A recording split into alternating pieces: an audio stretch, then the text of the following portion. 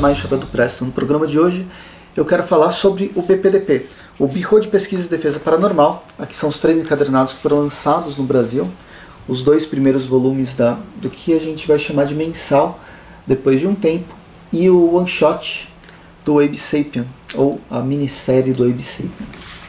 É um universo bem legal. O Mike Mignola faz esse universo expandido do Hellboy para explorar outras, outras histórias né, de mitologias que ele, que ele queria trabalhar. O mundo é bastante grande e o Hellboy não é suficiente para viajar pelo mundo inteiro, ou pelo menos por todos esses mitos e lendas. E além disso, a gente tem vários personagens no próprio Birro que podem ganhar uma, uma importância um pouco maior né, se o Hellboy for tirado de, for tirado dessa, dessa equação.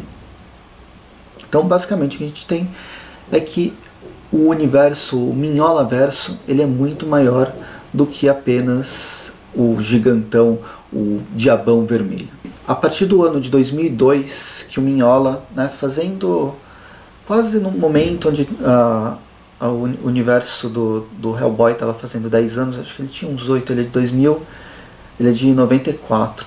Então, prestes a fazer 10 anos, o Mike Mignola resolve tirar o Hellboy do BPDP.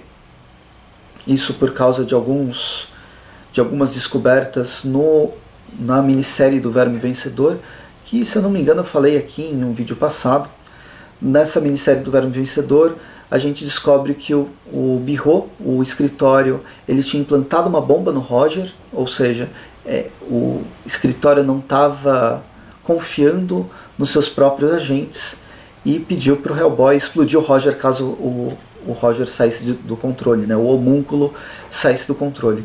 Isso causou um mal-estar para o Hellboy, que decidiu tirar férias, é, férias eternas do, do Birro e dos outros personagens. Tanto o Abe quanto o Roger eles decidem sair também do PPDP e fazerem, né, terem sua vida própria.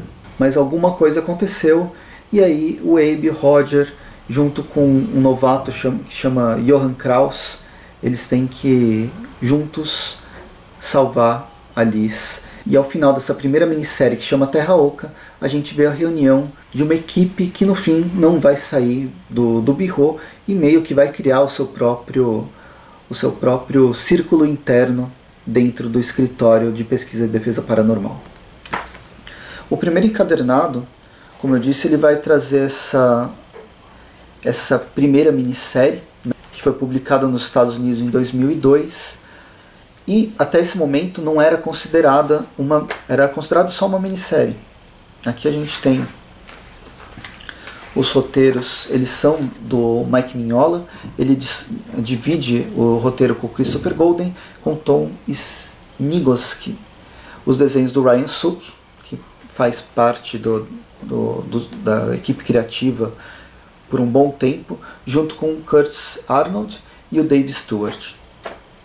Bem, por que, que eu digo que essa primeira minissérie ela não faz parte das edições mensais? É uma minissérie pequenininha, são três partes só, a outra metade do encadernado são de histórias dos personagens do Birro, mas são histórias que já foram publicadas em outros encadernados do, do Hellboy, inclusive aqui no Brasil. E aqui a gente tem no final uma história one shot que chama Tambores dos Mortos, do Brian McDonald. É a primeira vez que no, o Mike Mignola não está envolvido, não está nada envolvido. E é uma história de terror focada no Abe. Qual que é o lance? Aqui no, nos Estados Unidos, a partir de 2002, a, o Mignola Verso, né, o Mike Mignola contratou, chamou é, roteiristas, desenhistas para trabalhar com o seu universo, para ampliar o seu universo, explorando mais esse escritório e essas outras criaturas. Foram feitas várias minisséries e one-shots. A revista A Alma de Veneza e Outras Histórias ela é praticamente só one shot. São cinco one shots que a gente tem: o as, uh, Soul of Venice, Dark Waters, Night Train, There's Something Under My Bed. Cinco minisséries, na verdade, cinco one-shots que um não tem nada a ver com o outro, e a, a, apesar que eles têm uma certa continuidade, uma continuidade bem de leve, mas existe uma certa continuidade. E com o tempo, com essas histórias sendo contadas e agora a partir do, da Alma de Veneza, minisséries sendo construídas, que o Minhola Verso é, acabou assumindo o BPDP como uma série mensal.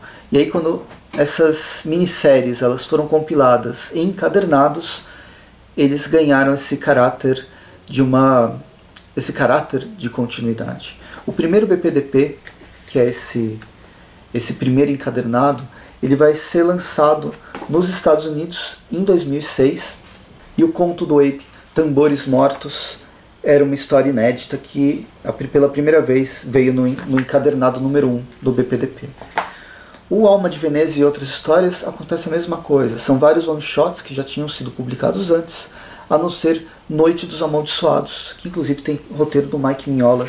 É uma história de zumbis bem, bem divertida, mas que foge da linha de zumbis tradicional, porque o próprio vilarejo acaba destruindo todas as criaturas ao invés do apocalipse zumbi. Então, cria-se essa continuidade a partir dos encadernados que vão sendo lançados. Então, é, com o tempo, o BPDP mais ou menos ele funciona desde 2002 até 2019 em três grandes ciclos de histórias. O primeiro chama é, Praga dos, dos Sapos. Aqui eu tenho um ônibus que foi lançado, é o segundo ônibus que dá continuidade a todas as minisséries dessa Praga dos Sapos. Vão ser quatro encadernados nesse primeiro, nesse primeiro grande ciclo. O segundo grande ciclo, eu tenho um dos encadernados só, que vai, vai ter paralelo justamente com o que está acontecendo com o Hellboy, que chama Hell on Earth, né, Inferno na, na Terra. Essa aqui é a fase Rússia. O terceiro grande ciclo, eles são a sequência a sequência do pós Segunda Guerra Mundial. 1946, 1947, 1948 são mini minisséries que foram lançadas entre outras minisséries dessas mais cronológicas como Praga dos Fo Praga dos, dos Sapos e Inferno na Terra. Então, através dessas é, várias minisséries que depois são reunidas e encadernados, vários one-shots que são reunidos e encadernados, a gente tem um grande ciclo de histórias que vai desde 2002 até 2019.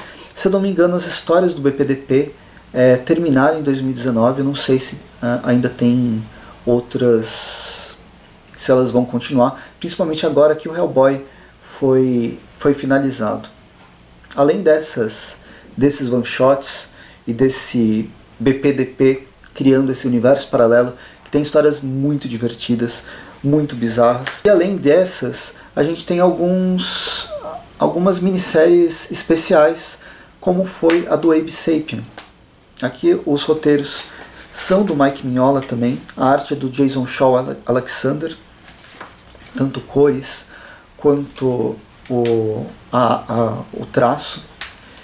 E, bem, tem uma, uma um desenvolvimento muito mais voltado para o drama do que pro, voltado para o humor, o humor sarcástico do BPDP. Foram cinco edições lançadas em 2008 e aqui no Brasil lançadas em 2009 pela, pelo editoramento, já no encadernado. A história se passa em 1981, dois anos só depois do Abe ter, ter sido libertado pelo Hellboy mostra que o Abe estava sendo ele era uma experiência de laboratório eterna do, do escritório até que o Hellboy decide não vamos tirar esse cara daqui porque vocês já estão explorando demais o coitado bem a partir do momento que ele é libertado pelo Hellboy ele passa a participar de missões junto com junto com o protagonista né, do desse universo do, do Mike Mignola até que em determinado momento o Hellboy ele para de fazer missões com os, o BPDP, né? ele se afasta porque ele está participando de umas escavações arqueológicas, e isso é explicado um pouco nas revistas do próprio Hellboy.